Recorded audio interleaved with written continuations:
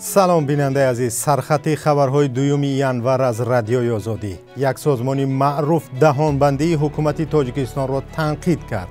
Сабаби сафар накардани эмомалӣ раҳмон ба вилояти бадахшонро шарҳ доданд. Дар санкт петербург ду ҳазор муҳоҷирро шаби соли нав боздошт карданд. Исроил ба сурия ҳамла кард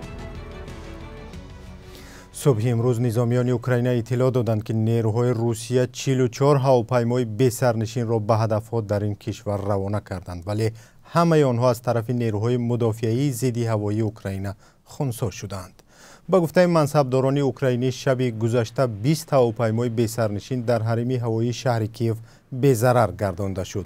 در این جریان یک جوان 19 ساله زخمی شده است. منبع‌های اوکراینی ادعا دارند که در شهر خرسون نیروهای روسیه شفاخانه کودکان را هدف قرار دادند اما نظری منبع‌های مستقل در این باره دسترس نشده است. پلیس سنت پتربورگ روسیه گفته است که بیش از 2000 مهاجری که شب سال نو در این شهر بازداشت شده بود جریمه ماموری شدند. مقامات پلیس سنت پیتربورگ روزی یکمی انور خبر دادند که بیش از 2000 مهاجر را از کشورهای همسایه نزدیک روسیه برای وارد شدن به میدان قصر زمستانه بازداشت کردند. میدان قصر زمستانه یک مکان تاریخی در این شهر است که بیش از آغاز سال نو مقامات گفتند که به خاطر تدابیر امنیتی گشت و گذار در آن را منع کردند. پلیس گفته است که مهاجران با خود خلپوشکه یا مواد برای آتشبازی داشتند که استفاده آنها نیز من است. مقامات روس شرح ندادند که مهاجران از کدام کشور هستند و آنها را چه مقدار جریمه کردند. سنگ پیتربورگ پس از مسکو دومین شهر است که در آن تعداد زیادی مهاجران تاجیک کار و زندگی می‌کنند. хонаводаи меҳриддин гадозода як ҷавоне ки аз ошёнаи дуввуми бинои шӯъбаи пулиси ваҳдат худро ба зер андохт ва ҷонбохт ҷуброни зарар талаб доранд додгоҳи ноҳияи исмоили сомонӣ талаби 500 ҳазор сомонии онҳоро рад кардааст онҳо ҳоло ба зинаҳои болоӣ шикоят бурданӣ ҳастанд ҳамкорони мо дар шаҳри ваҳдат ин мавзӯъро пайгирӣ доранд ва тафсилоти онро дар барномаи ахбори озодӣ пешкаши шумо мекунем Манобеъи боварбахши радиои озодӣ далели лағви сафари раисҷумҳурии тоҷикистонро ба вилояти мухтори кӯҳистони бадахшон шаҳр доданд. Намояндагони ҳукумат дар охири моҳи августи соли 2022 ба радиои озодӣ гуфта буданд ки эмомалӣ раҳмон эҳтимол моҳи сентябр ё октябр ба бадахшон равад ва омодагиҳо шурӯъ шудааст دو منبعی آگاهی رادیو آزادی که در نهادهای دولتی کار می‌کنند. روزی 31 دکبر سال 2022 گفتند دلیل نرفتن امومالی رحمان به ولایت مختار کوهستان بدخشان به ناامنی افغانستان و وضع سلامتی او پیوند دارد. پزشکان گفتند که او فشار بلندی دارد و برایش سفر به بلنکوها را توصیه ندادند. دفتری مطبوعات رئیس جمهوری رسما موضوع را شرح نداده است. در این باره در سامانه رادیو زودی با تفصیل مقاله نشر شده است که آن را بخوانید.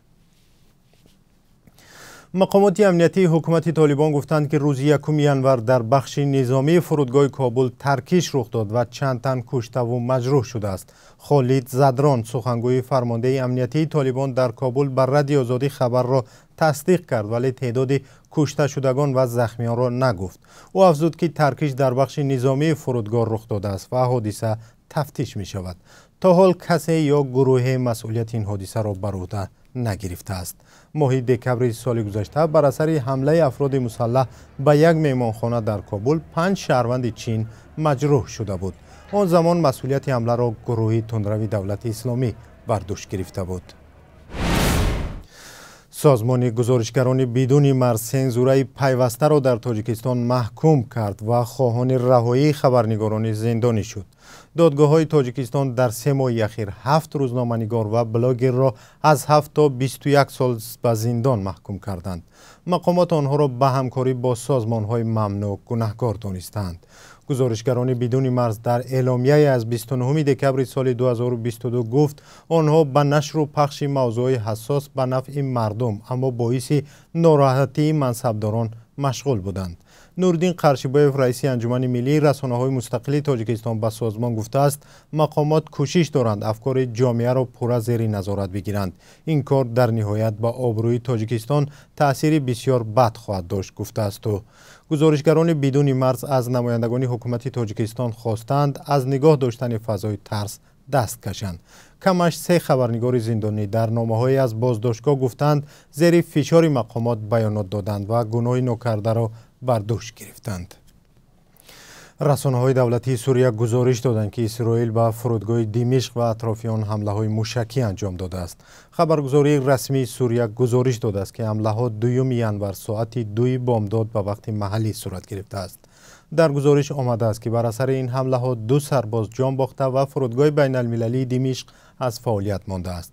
Роми абдураҳмон раиси ниҳоди назорат бар ҳуқуқи башари сурия ки қароргоҳаш дар бритониё мебошад ба хабаргузории франс пресс гуфтааст ки дар ҳамлаҳои имрӯз мавзеъҳои ҳизбулло ва гурӯҳҳои тарафдори эрон дар дохили фурудгоҳи димишқ ва атрофи он ба шумули як анбори аслиҳа ҳадаф қарор дода шуданд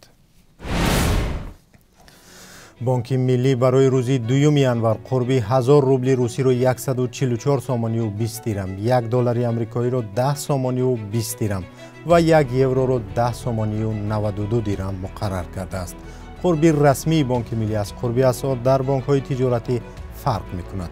Ташаккур ки моро ҳамроҳӣ кардед. Ахбори бештарро дар саҳифаҳои радиои озодӣ пайдову тамошо кунед. Шуморо соати 17 ба вақти москва ва соати 19 ба вақти тоҷикистон در برنامه اخباری آزادی انتظاریم. روزی خوش داشته باشید.